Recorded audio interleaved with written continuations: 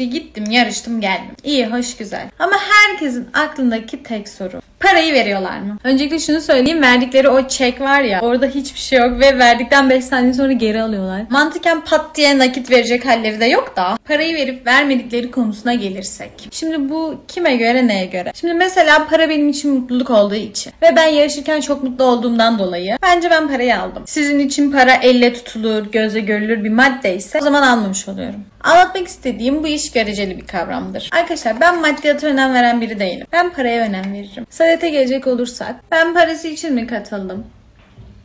Evet. Arkadaşlar önemli olan para. Şimdi şaka bir yana arkadaşlar parayı veriyorlar. Ama yayın tarihinden bir yıl sonra hem de %30 vergi kesintisiyle yani 100 bin TL kazanan birisi 70 bin TL almış oluyor.